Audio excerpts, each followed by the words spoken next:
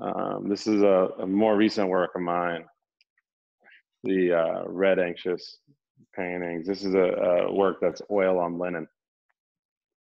And it's a red that I invented um, collaboratively with a group called R&F Paints in New York.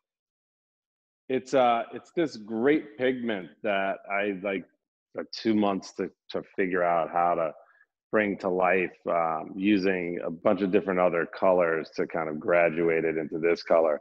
But you know, the thing about inventing a paint is you think that it's about the color, but it's not.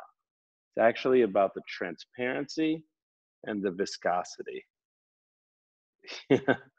like how does a paint become transparent and at what stages does it become transparent and what and how thick can you make it and how do you allow it to slip around and make marks that move? It's actually a white oil painting. And then i add the uh, the uh, the pigment that i made